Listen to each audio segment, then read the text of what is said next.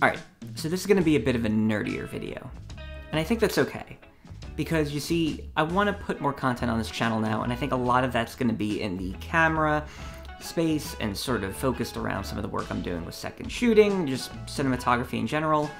But the tech side of things is going to play into it a lot as well. And I do work in the information technology field as my full-time job, so it's sort of inevitable that these two worlds will cross. And this is definitely one of those cases where they do. Now, speaking specifically, I was reviewing some footage from a shoot recently, and noticed that the footage one of my good friends shot looked to be playing back just a bit oddly. And sure, I'm used to certain footage of, you know, a very high bitrate or codec, um, being difficult to render and kind of what that typical stutter or difficult to process footage looks like when it's being played back. But this looked a bit different. It almost seemed as though it was shot at more of a 360 degree shutter angle.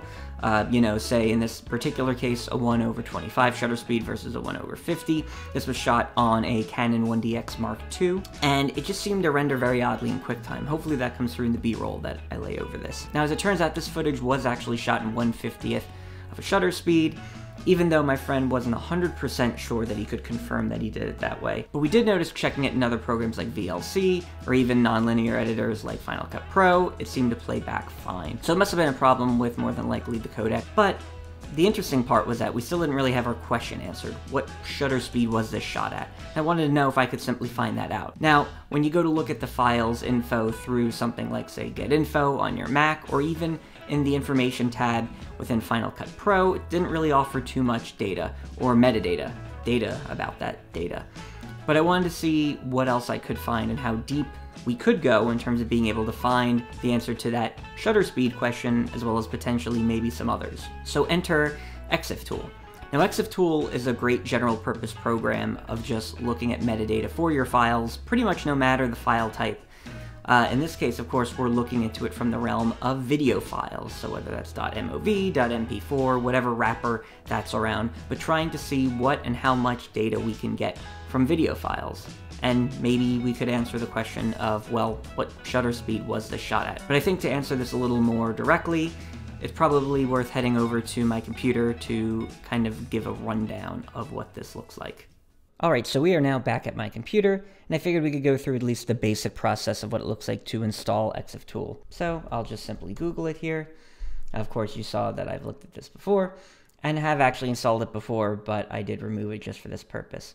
So if we go to the website, you'll see a few options depending on your operating system. In this case, I am running Mac OS 11 Big Sur, so I will pick the Mac OS package. Now in this case, I've relocated the download to my desktop. What you'll notice is uh, when you do click on the uh, DMG file, it will mount it and you'll have the package that you can run.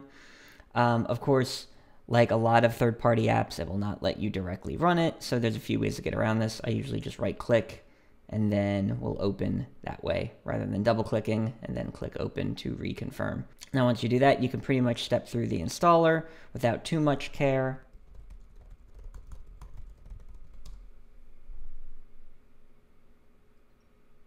And then you're good to go. Okay, so now we are in my terminal after installing EXIF Tool. And of course, once it's installed, you'll see just actually typing it will give you all of the different options that you have available to you. Now, in this particular case, I have a couple of different files I want to explore. Let's actually first take a look at that Canon file we were talking about initially. So I happen to know where this lives, and I'm just going to actually work my way into the path here to find it. Now, once I do that, it's essentially just I can take exiftool, the actual name of the program, and just point it at the given file I want it to collect metadata about. And once I do that, it will return all of that file's metadata. Now, if you're curious as to how much metadata actually gets returned, one of the things you can do is pipe this to another command, which is a very common operation that you would do in sort of Linux or Unix-based operating systems and I can use the wc-l command specifically to just get a count of how many different lines and pieces of information this happens to hold. In this particular case, I get back 289 lines of metadata. Now, I won't go through every single piece of information I can get from this file with EXIF tool, since some of this metadata contains serial numbers and items like that, but you'll see even right there, and notice right here that we do actually have shutter speed available to us. And so that question was pretty much answered right from the get go, right? We can also see the bit rate is fairly high, right? We can see a lot of different information about things like the lens. This happened to be uh, the Sigma 18 to 35 that my friend was using at the time. So one of the things I can actually do is go through the different return values from ExifTool. Rather than having to kind of scroll through this line by line, I can just search for given terms or queries and return all of those values that contain that somewhere in the text.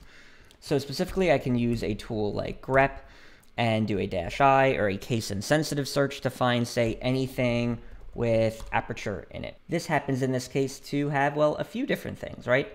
Uh, so we can see that the aperture used in the Sigma lens was 2.8 when this was shot, but the actual aperture of the lens has a range of anywhere from 1.8 to 16.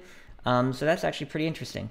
Now, if I wanted to uh, just get some maybe more general data on the camera itself, you'll notice that I can actually just query a lot of things with Canon and I'll get the make and model back. So as I said, it is a 1DX Mark II. We can get the firmware version. We know that he was in manual exposure when my friend shot this. We also know that he was shooting this in 4K or DCI 4K specifically. So lots of other interesting information there as well. Now, of course, there's a lot more I could show here, but I think we've sort of exhausted uh, some of the Canon values. But it does look like the Canon MOV wrapper, at least as far as files coming out of the 1DX Mark II goes, does offer a fair bit of information that you can get back. One of the other things I was curious was, well, what kind of information can I get back from a different camera's files? Does the metadata differ, say, from a different manufacturer? or make and model. I happen to shoot this gig with a Sony a7 III and happen to have, of course, some files I was curious to uh, check myself. Now, in my case, these files actually did render fine. There was no issue with them in particular. This was merely uh, me, from curiosity standpoint, just wanting to see if and how things differed when viewing metadata from, say, a Sony camera versus this particular Canon model. When I actually went to look at the footage from my Sony camera, I was initially, I'll say, a bit underwhelmed. I did get some metadata back, but as you can see, if we pipe that to that wc-l command, we only get 32 lines of metadata back. And yeah, there is some interesting stuff in there, such as the bitrate of the codec, of course, the frame rate, the resolution, um, and some other pieces of information around the actual wrapper they use.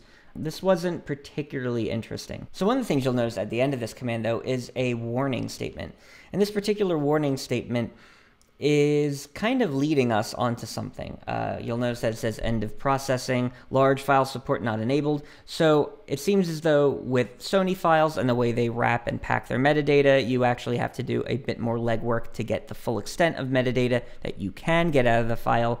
And just doing a pure simple command of exiftool and the file name will not be sufficient. So in this case, after some Googling, there is an API flag and it does point to this particular large file support not being enabled. So we'll set the bit on it so that it is enabled and we'll try rerunning that again and see what difference we get when we do that. Now once I run that, just me scrolling up through different values, I can already tell I've gotten a lot more information than I did the last time. And as a matter of fact, if we just do run a check on the amount of data we get back once we just enable large file support, we get 115 lines of metadata back, right?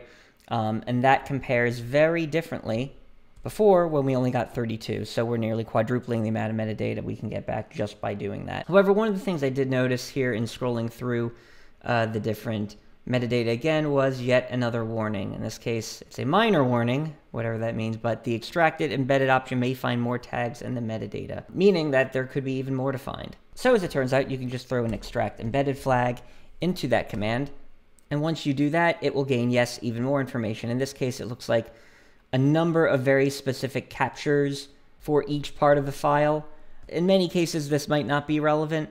And as you can see, this kind of makes the amount of metadata we get back a bit more than reasonable to parse through. However, again, we can still find what we believe are relevant values here uh, to look through on Sony's side, right?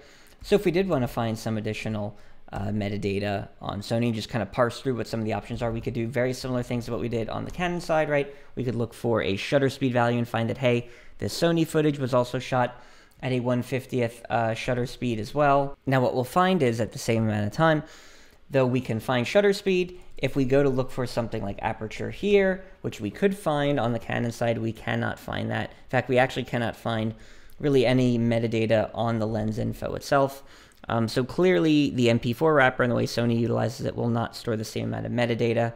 That said, there are always still unique values that can come across in the different metadata files. So you'll notice Sony does save a fair amount of metadata around audio uh, information, which is nice. Um, and though Canon does this as well, um, one of the other interesting things which I will search for under the term acquisition is I can also see even some of the picture profile information that was done with my shot. So in this particular case, I was using the Cine 4 Gamma when I was shooting this footage. It is using the color gamut. It points to Rec 709. I was actually using specifically the Pro color gamut, which I believe is Rec 709 based.